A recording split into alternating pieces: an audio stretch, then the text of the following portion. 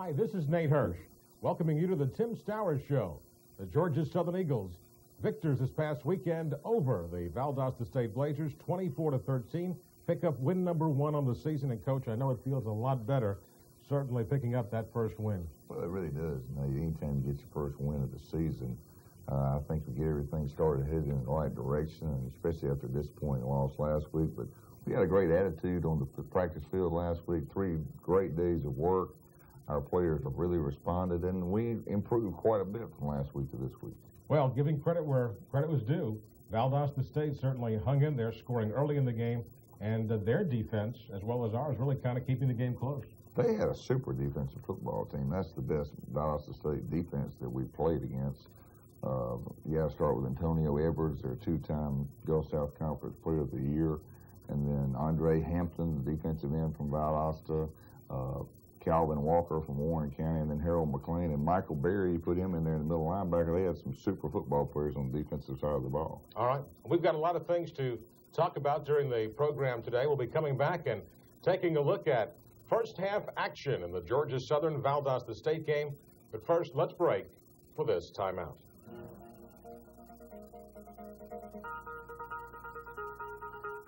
Of Valdosta State this past Saturday at Paulson Stadium. Kind of overcast skies and temperatures at game time only in the upper 70s. I thought at first you might like it to be a little warmer where you might have an advantage with your depth.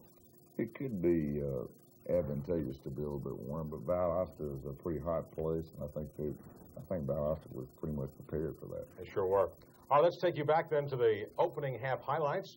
In the Eagles' victory over Valdosta State, Georgia Southern wins the coin toss and of course, when they win the coin toss, normally going to elect to defer until the second half, as you see the Eagles taking the field with the band on hand. Well, it's always good to see the band there at Paulson Stadium. That gives the players a little extra inspiration. I thought our football team was really ready to play, and I thought they were ready to play the week before, but they're kind of extremely motivated this week because of the bad taste in their mouth. Reed Hayes kicking off in the end zone. Uh, does a good job there. Our kicking game continues to be uh, uh, a plus for us. Threw a little quick screen out in the flats. We got some good game tackling. We got a lot of people around the football right here. This is a really different type of offense. Uh, it's unusual, uh, different than any other offense that I've ever seen before. It's kind of a running, running type offense. It was about four, five, or six. Now there's a late hit right there, and we can't uh, we can't put up with that. But sometimes you're to have a late hit, but I think that was kind of a flavor one. I'm just not going to stand for late hit from our football team. But that's the thing that kept this drive alive and kept this drive going. What they did, though, most of the game was the short passes instead of running the football. Really, and that's their forte. Instead of running the ball, they throw a short, control type passing game. We missed a bunch, a lot of tackles here. I think there was three missed tackles on this play. And Calvin Walker from Augusta, I'm sure he was excited about that. Uh, scored a touchdown and put up Valdosta State up seven and nothing. Several missed tackles there. Here's your first series. Here's Charles cutting up and getting some good yardage on the option. He squeezed the football, though. I'm pitching out shaft in front. Here's Michael Berry, the linebacker transferred from Clemson, uh, making another super play for Valdosta State. And Charles couldn't find anybody open. He started scrambling out. Then he hit Steve Payne on a long pass. Steve made a good super job of catching football, but it's nullified by holding penalty. Again, hurt ourselves. It really did. Bill Thatcher back to punt. Bill did another good job of punting. Again, the best yeah. thing about his punts, Coach, has been so little return yardage against the Eagles this season. That's true, but uh, we want to make it to zero if we possibly can. Good game tackling there. Count the number of blue jerseys around the football right there. That's outstanding. Need to still continue to work on our pass rush. Brandon Roselle with the tackle on the sideline. He's got him hung up, and about four more blue shirts come up. That's great. Ronald Johnson, Darius Dawson, Anthony Williams there in on that tackle. So you got the ball back. Got the football back, hand the ball off. To, they gave us a little bit of a stun over there to, to the boundary and gave us a little bit of a problem. There's Michael Berry again making another good play. All boxed back to pass. A little bit over, a little bit underthrown to Darren Willis. Had him open. There's Dominique Turner the host of the blue jerseys makes second Virgil Herring, the state fur part right in there in the action. That was he pitched the ball out the shaft and Frey had a missed block right here. which hurt us. Right there, had a couple other missed blocks. And the ball off from the outside there to James Williams. Here's a big third down pass. Here's a big third down pass. And Charles did a super job of getting the ball to Terrence Sorrell, and Terrence made a good catch. And you anytime you can get a first down and keep moving the chains inside the 30, you're doing something because the field shrinks down there quite a bit. Yeah, I believe this is the fourth down call where Charles sprints out. I just felt like we need to go ahead and get points on the scoreboard, and Charles uh, gets in the end zone, has some pretty good blocking on the corner. Very big play, ties the game up following Reed Haley's conversion at 7-7.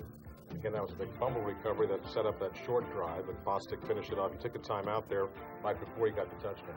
Now, Charles does a good job running the trap option out the back door, and uh, does a good job of getting the ball down to about the four or five yard line. Now, this was the most disappointing thing to me, Nate, all day. We got the ball first and goal on about the five yard line, and we can't get it in the end zone.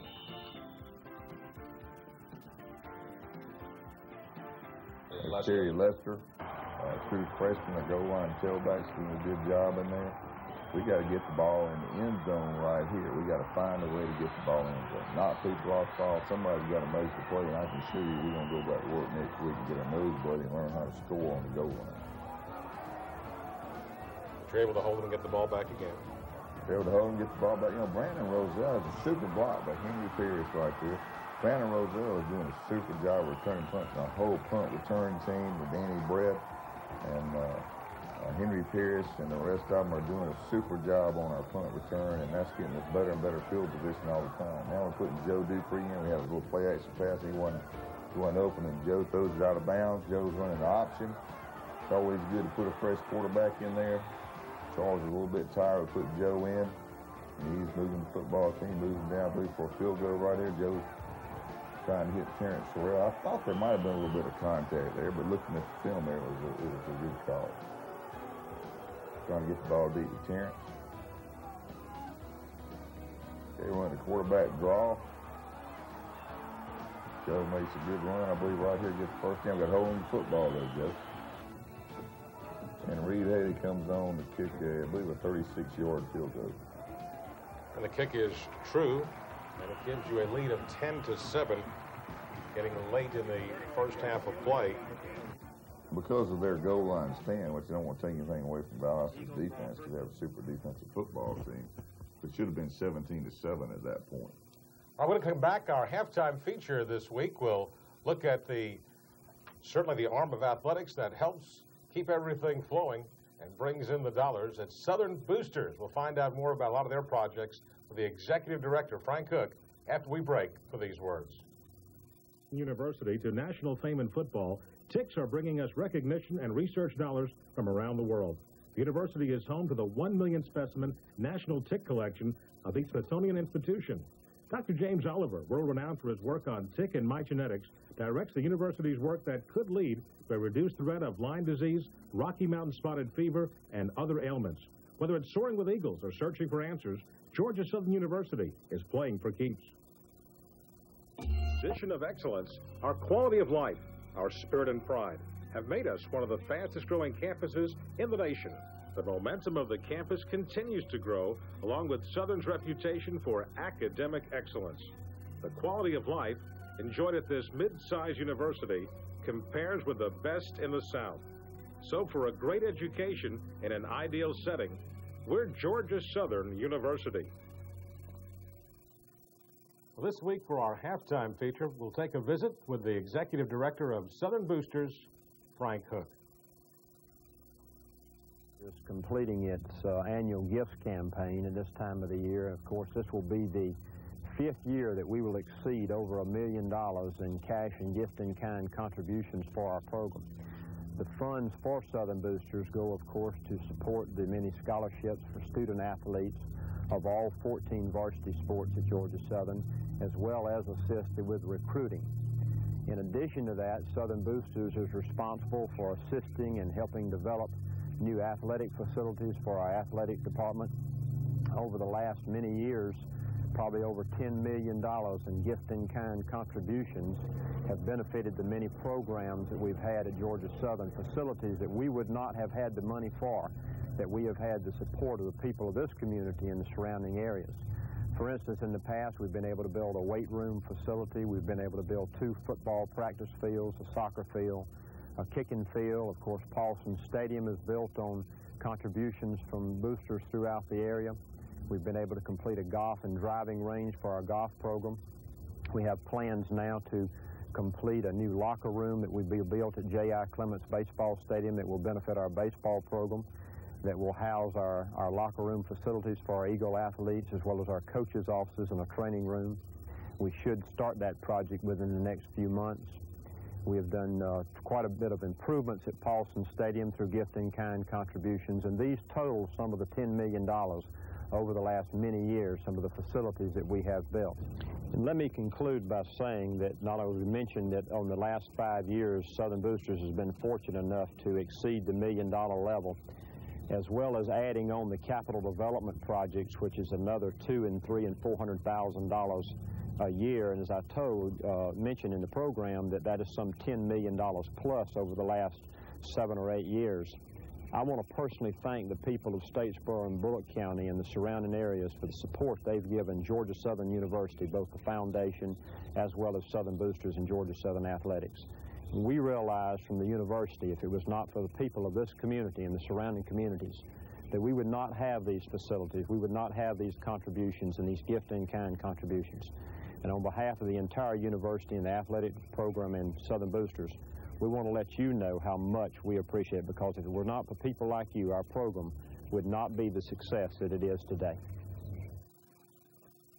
At Graceland. Half, Coach, you have a, a 10-7 lead, but you know you're in a fight. Well, they had an outstanding football team. We were struggling at times and moving the ball at times, and we were showing improvement. And I wanted badly for a football, offensive football team to take the ball and drive it 80 yards for the go-ahead for the touchdown and put us up 17 to 7. And uh, we just didn't do it. All right. Let us take you now to the third quarter action from Paulson Stadium this past weekend as Georgia Southern will be receiving to start things in the second half. We're about to receiving. I believe Chris Wright uh, has an outstanding return here. Yes, he did. He returned out to about the 37-yard line and he get an outstanding field position. And our kickoff return team continues to do well a little inside veer and give the ball off. James Williams and Bossy cuts up for two or three on the option play. And when the quarterback draw and can't quite get enough for the first down, and we have to kick it out of there. Here, Bill Thatcher in the punt. I was just hoping he was going. At one point in I thought he was going to fumble. We got good, pretty good coverage down there on the punt. Now, I get enough pass rush. It's uh, Huey Hunt and Nick Davis, good to see Nick uh, well again, able to play. Look at the three jerseys over there. We got Sean Austin and Darius Dawson on that tackle. Still not getting enough pressure on the quarterback. Well, they escaped that time, took the first down up there. Those little swing pass out to Dominic Ross. There's Anthony Williams, and I believe Darius helping out on the tackle again. Got to get more pressure on the players. Uh, Michael Morris coming in for the sack. Got to be careful there, Michael. You're going to need more personal foul. Yep. Well, they got one on them that time. That's right. I believe that was on them. They called one on us that time, a little later on, and uh, got that 15-yard penalty. Here's a field goal they're going to miss this time. Guys Still don't- really missed the field goal. and I think we have a little pressure. I think that might have been Maurice Reed putting a little bit of pressure on him. Might have gotten his face and made him miss it. You get the ball back and get a pretty good drive going. We got a pretty good dose of the dangerous looking play, but one we practice all the time, so we don't feel quite as dangerous about it. We missed a couple blocks. Charles was scrambling back there in the back. He scrambled around, couldn't find anybody open, and he makes something happen with his running ability. Then this is a critical fourth and one, and Terry Lester does a good job of getting the getting the first down. And there's Franklin Stevens retaliating and it's a 15-yard penalty. Really, they're turning it out to be offsetting penalties. I'm not going to put up, like I said, with any type of uh, personal foul penalties on Georgia Southern football team. On the shuttle pass, there's Marcus Walker making a good play on Chris Wright. They get the ball back deep in their own territory. Paul Carroll made the tackle. Stop James. Williams does a good job right here, keeping his feet and making something happen with the ball in his hands. One little outside to that side. Same thing here again. James Williams originally signed with Valdosta State and played there a year, then transferred to Georgia Southern. Here's Michael Berry making another big, another big, uh, big play inside the 20-yard line. Well, this is the first field goal attempt, or extra point field goal attempt that Reed Haley has missed uh, in the first two football games. He's made the other two field goals from major points. We're in the fourth quarter now, and it's still 10-7. Fourth quarter, big hit right here with Brandon Roselle. Good lick on their sideline on third down play. When we get the ball back, and we just running Georgia Southern's bread and butter offense. Charles makes the safety miss, cuts back. We got some blocking downfield. Darren Lewis is downfield helping block out. There's also, Uh, I think you'll see an offensive lineman come in and play right there with Darren Lewis, and Charles Bassett goes 53 yards for the touchdown. If ever you needed a big play, you got it right there. You know, this time last year we weren't getting any big plays, and now we're getting a lot more big plays. We just need a little more consistency. And we just need to improve a little bit more each and every week. So you're leading 17 to Got 7. A little pass rush right there. Ronald flushes him out of the pocket. And Ronald, Ronald, the pressure by Ronald Johnson, defensive line, had probably allowed Marco Bowden to make that interception. The best pass defense is a good pass. So it sets you up with good operating room at their 38-yard line. Oh, sprinting out, he hits Darren Willis on a go out, a perfect throw. Get the ball down inside, I think inside the 10, that's about the five-yard line. And Charles keeps it for the touchdown right here off the ISO.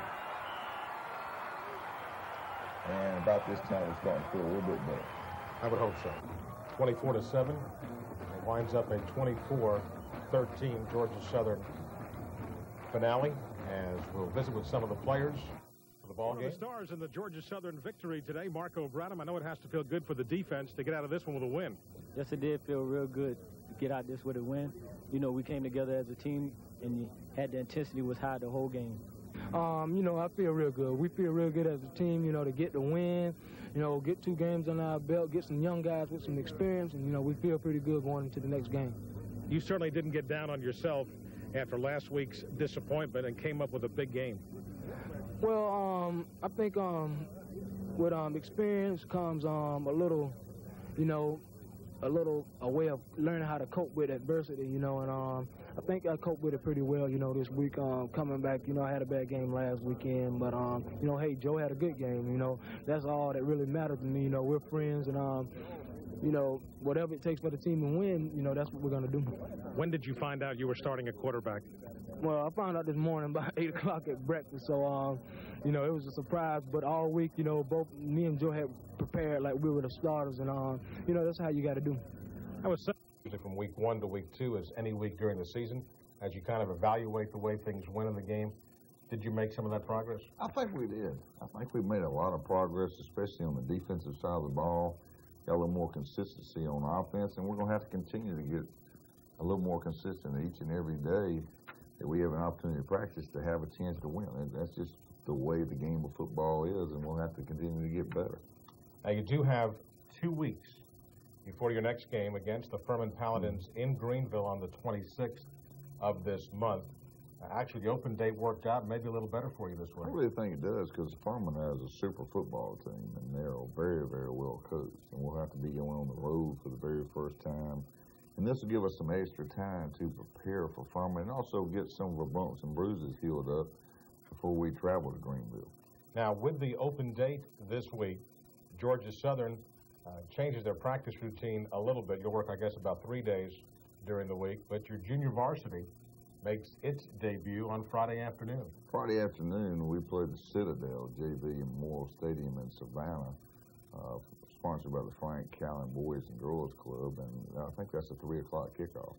That'll be the first of four JV games on the schedule. Again, this is the first year we brought a JV program to Georgia Southern. And explain to the people how that works as to actually who will probably appear in this game. So those people that have not possibly been redshirted, or we're going to let some of the new walk-ons play.